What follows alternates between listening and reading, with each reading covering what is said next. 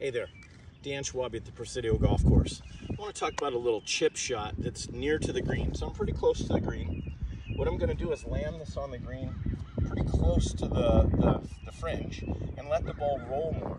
What's really important for this setup is to not be tilted back away from the target, which might have my low point too far behind. I am not trying to help this ball in the air at all.